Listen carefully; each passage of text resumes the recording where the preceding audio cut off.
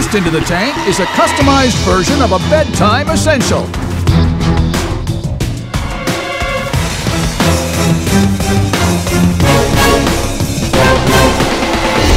Hi, Sharks. I'm Susana. I'm Kevin, and we're seeking $400,000 for a 5% equity stake in our company, Pluto Pillow. Now, I know what you're all thinking. Another pillow company? Well, yes, but thankfully, here at Pluto, we do things differently. See, finding the perfect pillow can be so amazing, but finding the right pillow for you can also be super hard. Here's how it usually goes.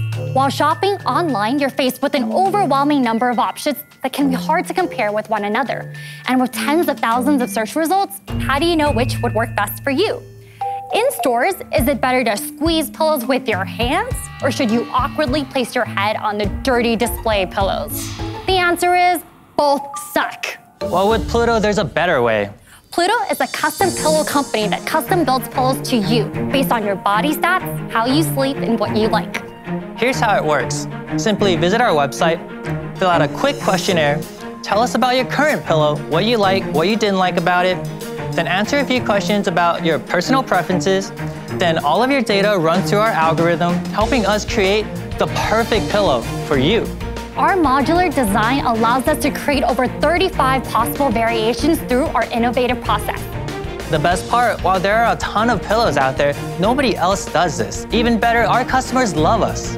So, sharks, before you hit snooze, which one of you will join us in helping everyone get a good night's sleep?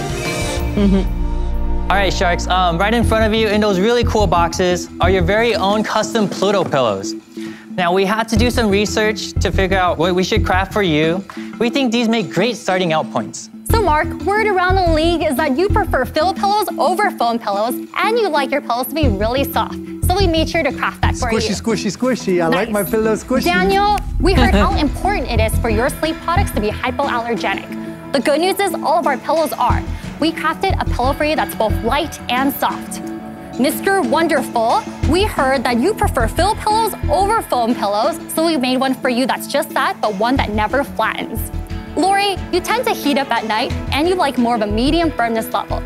And lastly, Robert, lucky you, you're exactly the same as Mr. Wonderful. Both of you love thick, plushy, filled pillows. Yours is a quilted cover, while Kevin's is a smooth. So sharks, enjoy your out of this world Pluto pillow. Susana, I have a question. I always assumed that there was actually a better pillow for everyone. Are you saying that that's not the case, that really, truly, there is no scientific best for everybody? There isn't. So we take your body stats, sleep positions, and preferences. So we know that, like, let's say if you're a side sleeper, you need that like neck support for the neck to shoulder tip ratio. Whereas like a stomach sleeper, it's better if you sleep on a flat pillow. But besides that, we also have empirical evidence. We have over 1.5 million data points that we take into account of like what makes a great pillow for you. What do you mean by those 1.5 million data points? So we have an algorithm on our site that every time anyone goes on our website, orders a pillow, we store this information, and then we look at other people who answer similarly to that person. And then we see like exactly what kind of pillow would be best for them with this data point. And this has actually led to a very low return rate compared to the industry average. The industry average is 12.95%, while ours is sub 8%. And we did this in two years. Break down the numbers for me. 2018, 197K when we first started. 2019, 473K. And this year so far is 490K. There you go. Wow.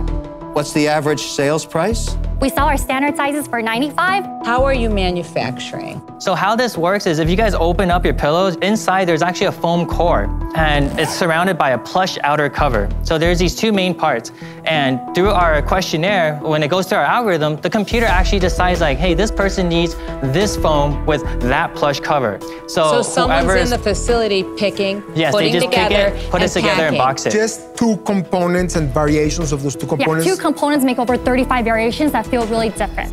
One pillow, you sell it at $95. Yes. And then what does it cost you, including fulfillment, and what is your, what do you have left? So $95, $18 shipping, and it costs us 25 to $30 to make the pillow. So $43. So Your you only cost- have half, about 50% margin. Yes, so with that, it's 50 to 60, just cost of goods sold. So that's not a big ratio. Yeah, it sounds like your Normally gross margin structure is not so good. Is there a reason why? Because no matter how much you grow, if your gross margin out the gate is bad, you're just compounding the problem. So why are your gross margins not Yeah, healthy? and that's enough? why with like if we could have a bigger size warehouse to order more materials, we can get that down to 20 to $25 instead of 25 to 30. You're talking about a few dollars, like $18 of your cost is shipping. Right. Tell me a little bit about the back end operations. How big is the team? So before this year, it was actually just us two. We boxed every pillow. We answered We all the made customer you guys emails. did all the boxing in the all warehouse? Yeah, the boxing all in the it. warehouse, and then Okay, we and reached out now? to press. And now we have we hired two pillow builders. Um, we have Pillow builders. Yeah, and we have someone who is full time on customer service. I want to share with you a few things, my thoughts. While you're picking something smart because pillows are great and everybody needs pillows, it's also an extremely competitive space. And I just think the combination of that along with your valuation, just not the right investment for me. I'm sorry. I'm out. Thank you very much, Thank you, Lori. Lori. Yes. Guys, you guys are, are super impressive. I think Lori makes a really good point about how competitive that industry is. Yes, but nobody does what we're doing in terms of taking body stats, sleep positions, and preferences into account. And we have a utility patent pending. We have over 1.5 You have a data utility points. patent pending on yes, what? On the way we make the pillows combined with the algorithm.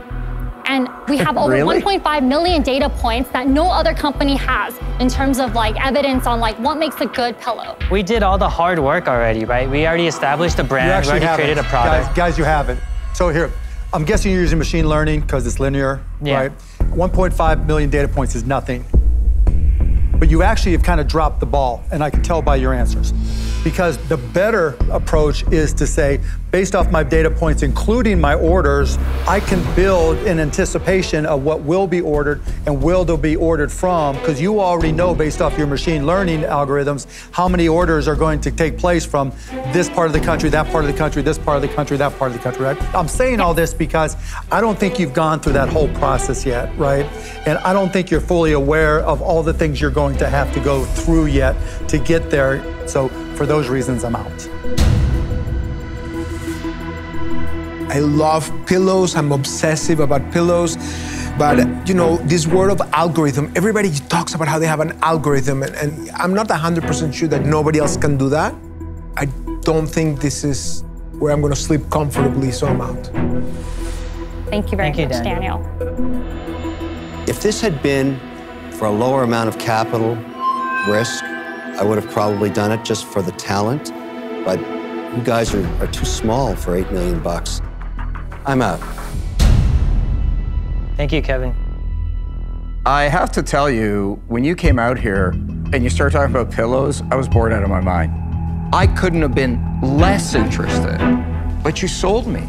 And I think there's a couple of big problems. To Mark's point, your algorithm, it's not predictive. You've got to know what the potential orders are going to be before you get them. And I think you'll start getting that once you get the volume. Yeah. But come on, who up here knew everything about their business and didn't make those mistakes? So at the end of the day, it's not about the mistakes you're making, it's about my confidence in your ability to overcome them. And you've sold me on that. So I like it all. Hate the valuation. Hate the valuation. Don't let that get in your way, Robert. So I was being quiet with my own algorithm and saying, what number would make me feel comfortable sleeping at night?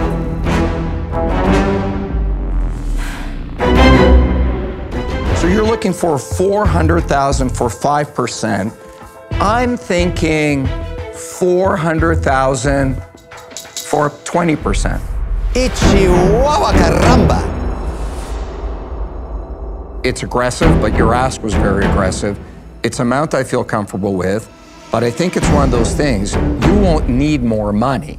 You're going to need more expertise and more ways to get out there faster. It's an offer. 400,000 You got a Shark Tank offer. Go. Please go. I think that's just a little bit high. Would you be able to go down to 9% or 400,000? No, I'm not going to come down that much. I mean, would I go down to 19, 19 and a half, some marginal amount? Sure, maybe if you could convince me. But I think it's a lot of money. It really is. And it's a lot of my time. And I do think you're one of these investments we're going to look back on and say, wow, Yeah. Pluto went to the moon. I think 19 is just a little bit too much. We've seen triple digit growth year over year since we started, and we feel like there's not really much in our way to keep growing. We do want some expertise. Stick to your and guns, some guys. Stick to your guns. Yeah, there's nothing wrong with sticking to your I guns. disagree, so- guys. He could help you a lot. to your Everything guns, for me guys. is a matter of investment and risk. And I think at 20%, I'm deeply invested. What do you want to do? Let's shoot for the stars. Thank you so much for the offer, Robert. But I think 19, 20% is just a little bit too much. I think we can't really go more than 10% for $400,000. I, I can't get there. Thank, Thank you. you, Robert. Guys, good Thank luck. you so much. Congrats, guys, and good luck. Thank you. Well Thank done. you very much, Guys. guys. Thank you. While we're so flattered by Robert's offer, we felt we were worth way more than what he was offering, and we feel that we could still grow this company ourselves.